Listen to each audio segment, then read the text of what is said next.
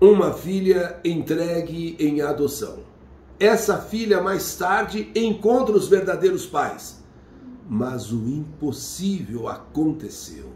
Clique aqui e veja o que foi.